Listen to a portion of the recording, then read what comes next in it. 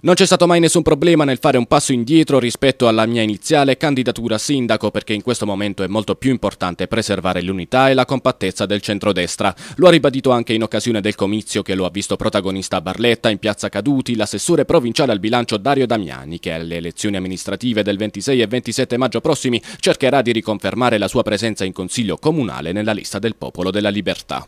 Io continuo in consiglio comunale, quindi mi ricandido al consiglio comunale per sostenere sia Giovanni Alfarano, proprio a dimostrazione oggi dell'unità e della compattezza. Abbiamo deciso insieme ecco, la sua candidatura, io mi ricandido al consiglio comunale per continuare oggi quell'opera che ho iniziato anche eh, tanti anni fa e continuare ancora a fare e a portare in consiglio comunale quelle che sono state le battaglie storiche, soprattutto oggi dare anche un contributo mio personale di esperienza, di qualità politica che in questi anni mi sono costruito anche e soprattutto soprattutto grazie alla fiducia dei tanti amici e dei tanti elettori di Barletta. Se il centrodestra si presenta con otto liste a sostegno di un unico candidato sindaco, Giovanni Alfarano, il centrosinistra è deflagrato in tanti rivoli contrapposti tra di loro e senza alcuna speranza di ricompattarsi. Un vantaggio che sapremo sfruttare, ha detto Damiani, grazie anche ad un programma fatto di progetti realistici che intende portare a termine tutte quelle opere strutturali rimaste incompiute per inefficienza delle passate amministrazioni.